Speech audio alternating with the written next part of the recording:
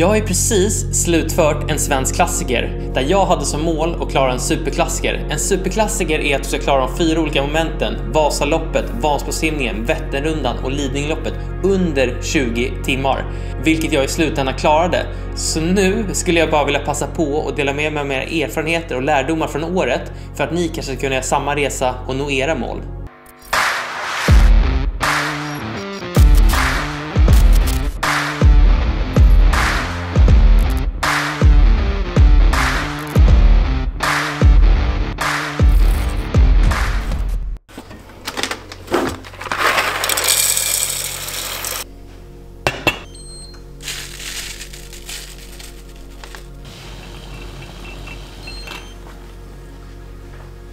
Så det hade som sagt varit kul att dela mina erfarenheter från året som har gått. Eh, och det är lite kul, jag minns från, eh, det var i maj i fjol som Johan Olsson då hörde av sig och frågade ifall jag ville vara med på det här projektet med min klassiker. Från början var jag ganska, jag var inte skeptisk i början men jag var lite rädd. För jag vet när jag hoppar på sådana här utmaningar så vill jag alltid kunna göra det på så bra sätt som möjligt. Jag visste inte riktigt ifall jag skulle ha möjlighet att lägga så mycket tid. Men eh, Sen pirrade det till och jag visste att eh, klassikerlopp är något jag skulle vilja göra framåt så varför inte bara lika bra att göra det direkt. Så eh, efter några dagar så tackade jag ja och det är jag jäkligt glad för för det har varit jäkligt roligt och spännande år och som jag sagt innan, det har varit så jävla kul att byta träningsform och bli lite tvingad att göra saker som man kanske inte tidigare brukar eller har gjort eller kunnat. Och då syftar jag framförallt på simningen.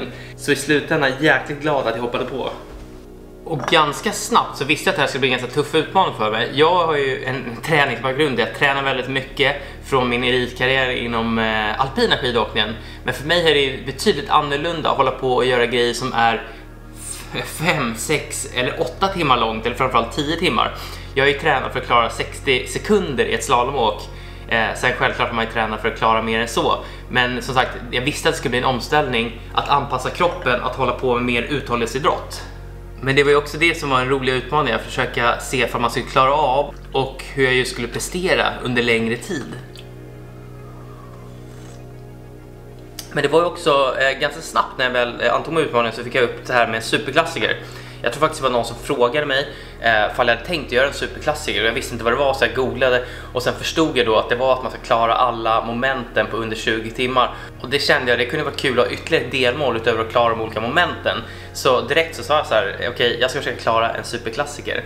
Och därav känns det extra kul när jag nu i slutändan kunde klara det och jag faktiskt klarade med ganska bra marginal. För jag tror jag klockade in alla eventen på eh, 16 timmar, 28 minuter och faktiskt 44 sekunder. Så det var ju en bit marginal från 20 timmar. Och det är lite kul för när man tittar på en svensk klassikers hemsida så har de en topplista på historiska tider. Och 16 timmar 28 minuter, det går in på ungefär en 70-75 plats. Så det är jag faktiskt jäkla stolt och nöjd över för man ska tänka på också nu, Vätternrundan är lite längre senaste åren. Eh, så det är svårare att göra ja, sådana tider. Så det visar ju i slutändan att jag klarade av att hantera utmaningen att just prestera under längre tid och också att all tid och träning man la ner gav resultat. Så det är en tid jag är jäkligt nöjd med. För att summera träningen, jag satt faktiskt igår och kollade igenom min Strava och skrev ner alla tider så jag måste ta ner en eh, fusklapp här.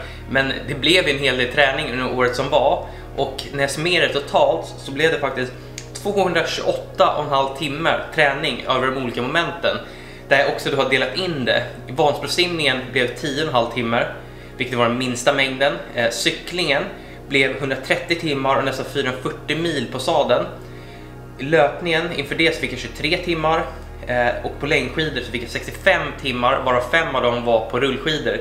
Så som ni hör, en hel del träning eh, som man har fått till under året. Eh, så därför vore det kul att gå igenom de olika momenten nu och se lite ifall eh, jag hade kanske gjort någonting annorlunda, något jag lärt mig och något jag kan dela med mig till er av.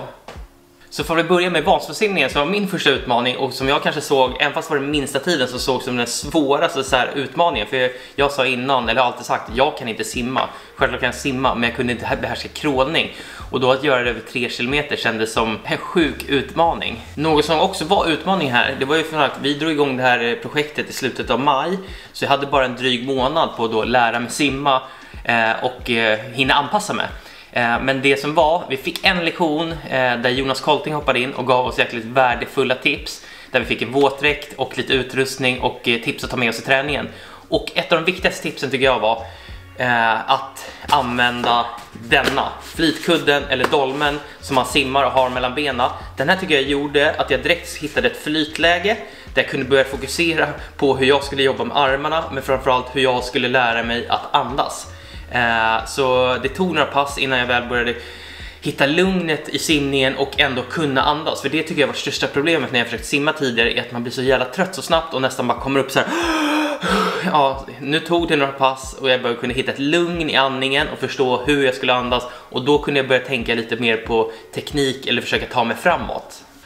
Så flytkudden, dolmen, sjukt bra redskap och eh, ifall jag kommer simma framåt, något jag kommer använda mycket fortsatt. Det som jag var lite rädd för, eftersom jag hade så kort om tid och jag inte har simmat innan, var att dra på för stor eh, mängd träning. För just framförallt axlar och överkropp var inte riktigt van med simningen. Jag var lite rädd, jag började känna i en axel ganska snabbt. Så jag visste ifall jag kommer lägga på för mycket mängd och lite för hårt snabbt så kanske risk att man faktiskt alltså, inte skadar sig men får ont och där inte kan eh, fullfölja på det sätt man vill. Så därav blev jag tvungen att så här, hålla ner mig och hålla en lagom dos men jag successivt varje dag försökte vara i bassängen och få ja, men, tid så ofta det gick, men inte så långa pass.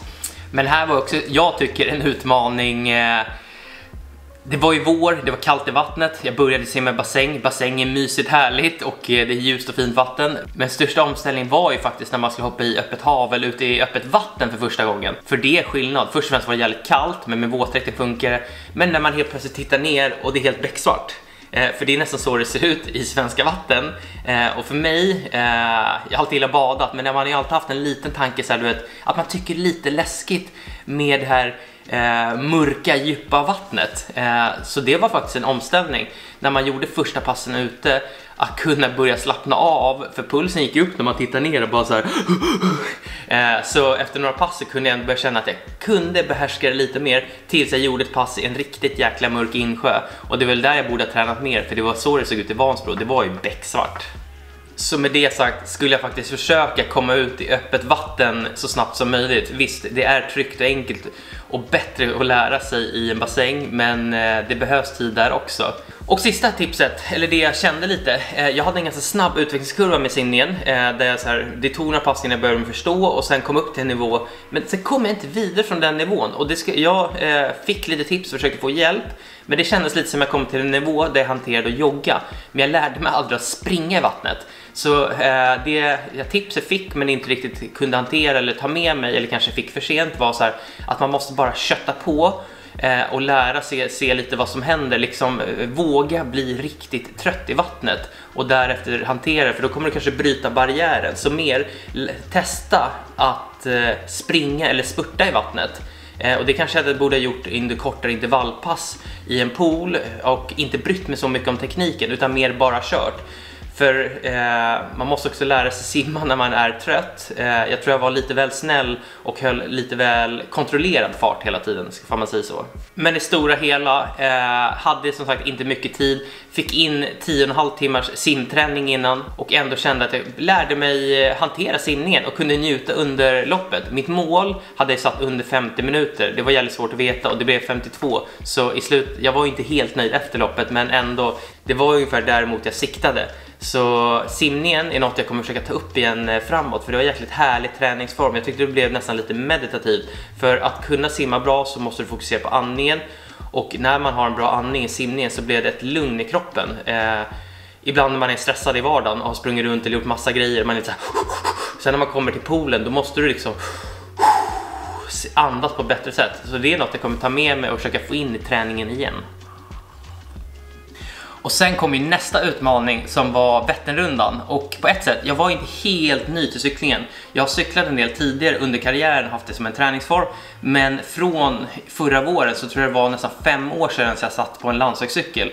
Så när jag väl hoppade på den så kändes det ganska nytt och det tog ett tag innan jag började känna mig trygg igen, men hade väl ändå ganska snabb invändningsfas. Men eh, ganska snabbt så visste jag att det här var en av de utmaningarna och eventen som jag skulle lägga mest tid på och ville pressa mig hårdast på. Så jag sa det ganska snabbt, jag vill hitta en subklunga eh, så jag ska kunna göra en riktigt snabb tid ner mellan, jag, jag nämnde 7,5 till 9 timmar, men det här var också svårt att veta eh, vilken nivå jag skulle kunna hamna på och vad jag skulle kunna klara av. Och eh, i slutändan för man ser så hittade jag ett jäkligt bra gäng med Team Horns och lyckades klara under 8 timmar, 7.58. Även fast det blev en sjuk utmaning och på gränsen och kanske jag spände bågen lite väl, för man ser nu efterhand. Men eh, det jag skulle eh, dra lärdom av det eh, är att jag skulle ha hittat en, ett gäng som jag tidigare kunde börja träna med Eh, och eh, under sommaren hade kunnat träna tillsammans med. Det tror jag hade gjort det ännu roligare och jag hade kunnat anpassa mig lättare och bättre till ungefär hur, hur det är att cykla under själva Vättern i en subklunga. För det var något eh, jag tyckte jag missade lite. Jag hade gjort milen och tiden på cykeln men inte riktigt anpassat mig till att cykla i klunga och kunna slappna av och anpassa kroppen efter den cykling som är när man gör det. Så om du ska cykla med en snabb subklunga, eh, försök hitta ett gäng och träna och eh, lägga upp din planering tillsammans med inför Vättern. Och som sagt, med tanke på att jag spände bågen rejält så visste jag också att det skulle krävas en hel del tid och mil i sadeln. Och eh, som jag nämnde, jag tror jag nästan fick 130 timmar, eh, vilket är jäkligt mycket. Och det här gjorde nästan att jag låg på en gränsen till att eh, ja, men jag var stressad, jag ville få in timmar av tiden och hela tiden låg och tryckte på och kanske körde lite väl hårt. Eh, och nästan låg på gränsen till att bli övertränad och tryckte ner mig ju längre sommaren gick och ju närmare jag kom Vättern. För det var viss cykling jag kände mig starkare på eh, under sommaren men eh, Självklart, jag blev mer uthållig och eh, träningen gav effekt, men jag låg på en hårfin gräns och framförallt veckan innan loppet var jag riktigt sliten. Så det som har gjort mig väl var att kanske inte stressat lika mycket med så extrema mängder, utan gjort, lagt ännu mer kvalitet. Och ett av mina problem var, jag gjorde den största träningen själv och cykla 9, 12 eller 14 mil själv, det är jäkligt jobbigt i motsats att man är ute ett gäng med kompisar, en klunga där man kan avlasta varandra och hjälpa, vilket blir mer likt det du ska göra. Och nu när jag ser tillbaka på sommarens träning, det som jag gjorde lite fel var att mina långpass som jag körde själv eh, blev lite för hårda. Eh, jag låg och nötte en ganska hög nivå vilket slet på kroppen mer än vad jag trodde. Så när jag väl sen skulle göra mina intervall eller högintensiva pass så var jag lite för sliten så jag hela tiden fick en lite nedåtgående trend i formkurvan. Utan det jag hade gjort idag, att våga släppa upp och gjort de långa lågintensiva passen lite lättare. För då hade jag fått in mängden utan att ha blivit för sliten. Men så jag hamnade lite i det vi kallar i mellanmjölksland eh, och låg och tryckte halvhårt lite hela tiden och sen när jag väl då skulle kliva på mina högintensiva hårda pass så ja, men var kroppen nästan lite för sliten för att orka med det. Och här ska jag erkänna att strava är ju lite farligt. För också under vissa runder så när man var ute så vill man ju få in den här tävlingskänslan. Så det var ju alltid man så här, hittar något segment som man bara ja, men jag har, nu har jag tagit en lugn runda, jag kan väl avsluta med att trycka på och försöka se lite hur det utvecklas och hur jag, hur jag kan prestera på det här segmentet. Och sånt där också, det bränner ju på i eh, träningen. Det är ju perfekt att använda på de högintensiva passen.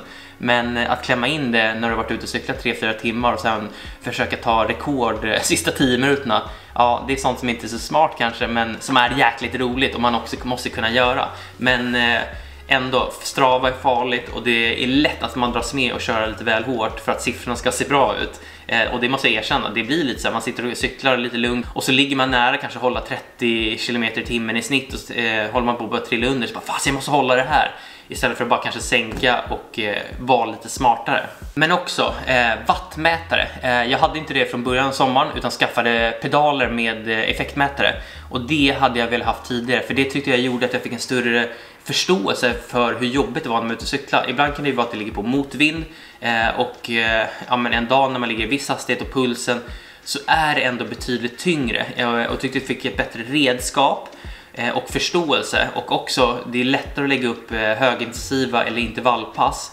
med effektmätaren och eh, när man ser vatten.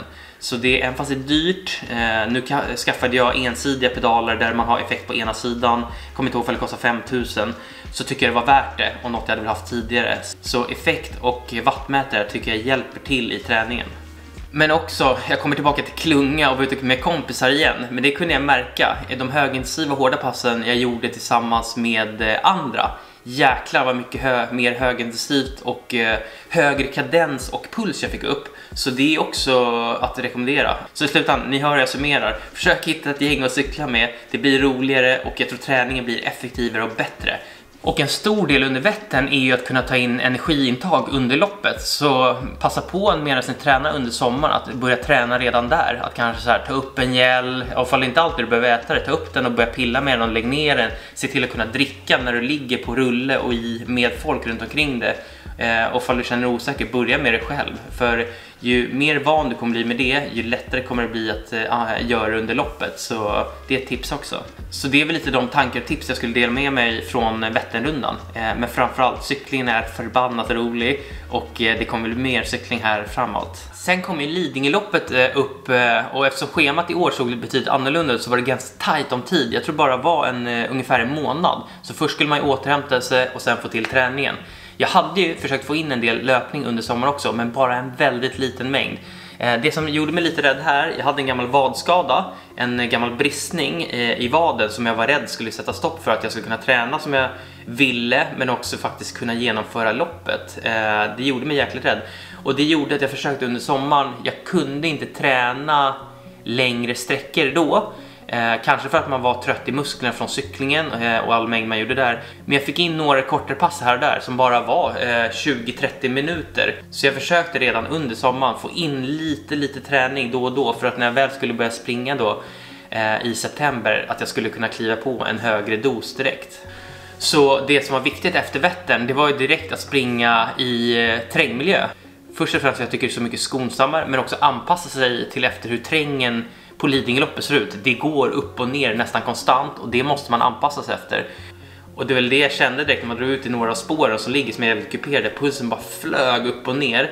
Och sen när man fick några pass i det så tyckte jag ändå kunde börja hantera pulsen bättre och styra. Så ifall jag skulle hålla lite lägre puls att jag ändå kunde hantera det även fast det gick mer upp och ner.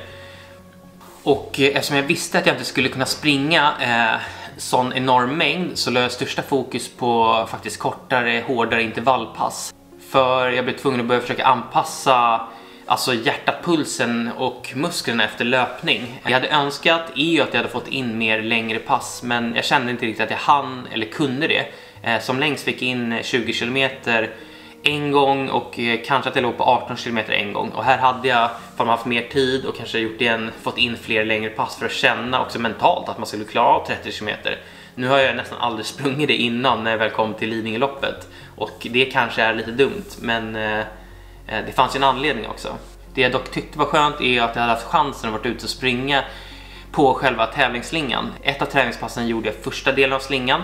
Jag tror det var då jag gjorde ungefär 18 kilometer Eh, för att se den och sen gjorde jag ett pass där jag avslutade sista 15 km och fick se sista milen. Så när väl eh, loppet var så hade man ändå huvudet lite koll och hade lättare kunnat lägga en, en plan för ungefär hur man trodde det var bäst att lägga upp loppet.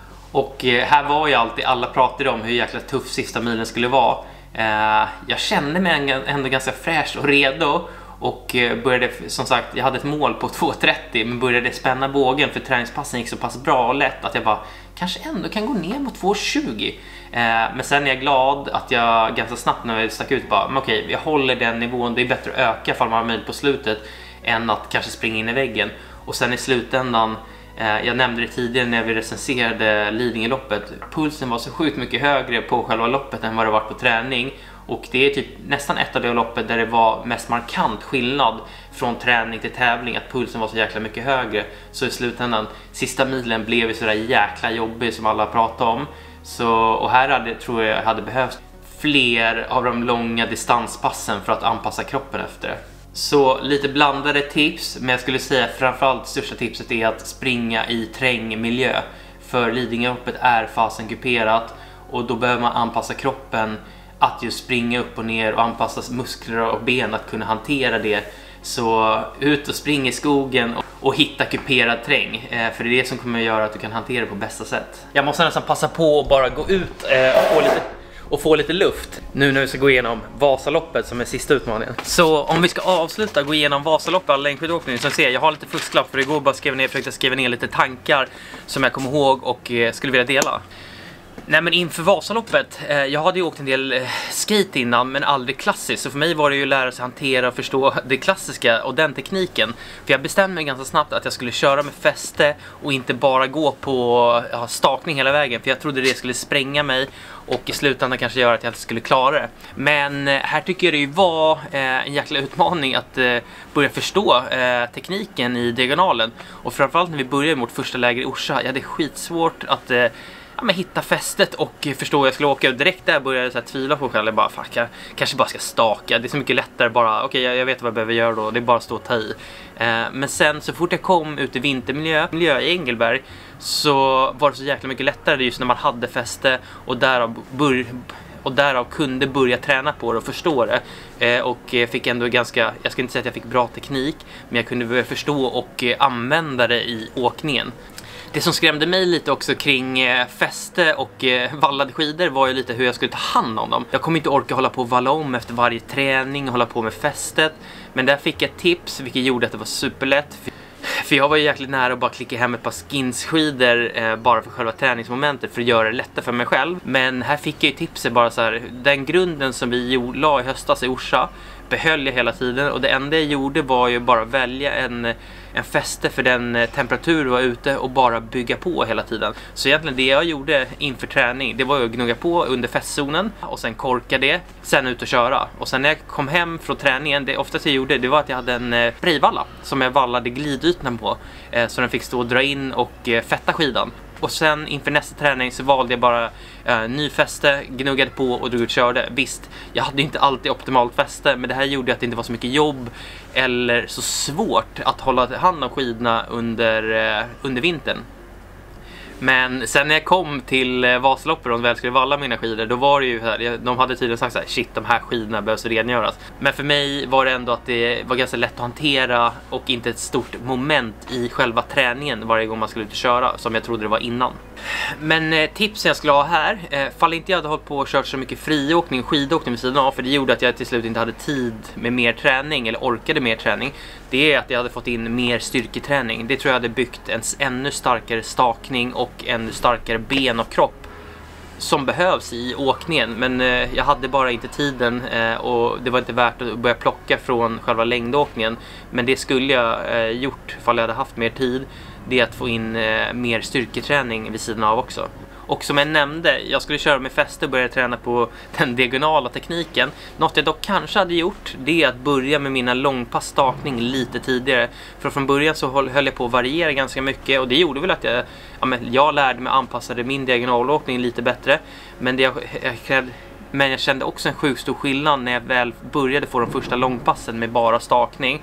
Alltså från början gick det så jäkla trögt och sen när man fick några så helt plötsligt gick det lättare och lättare. Man kunde börja trycka på snabbare och jag blev starkare och där kände jag utveckling. Så ifall jag hade fått den utvecklingen lite tidigare eh, tror jag hade varit bra. Och eh, även där i Engelberg är spåren jävligt utmanande och bra. Men det är också inne i en dal så det innebär att oftast eh, passen ska ut så att det oftast är 5 km in i dalen där det är lätt uppför och jäkligt tung stakning. Eh, men sen kommer det också då ungefär 5 km som är lättare.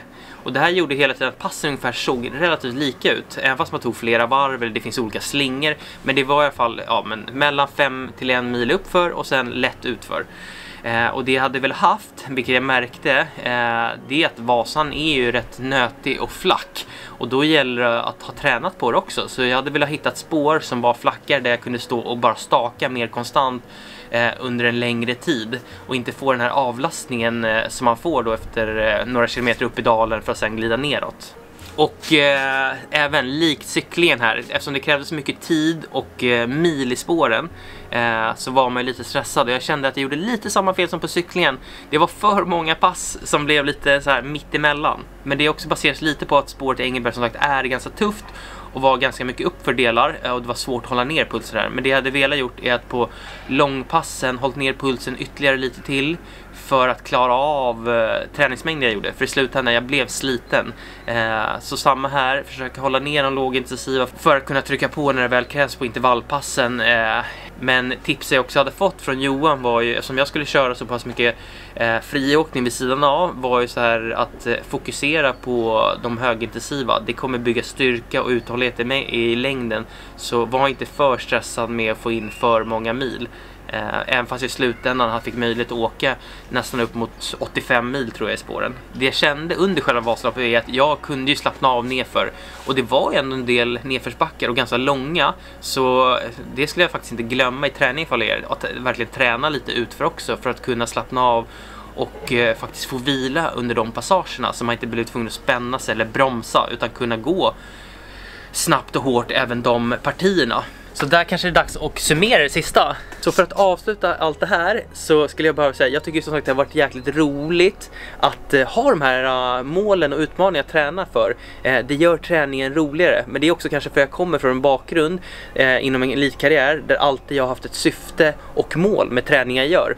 Men jag tror faktiskt många av er, fall ni inte har testat på, borde göra.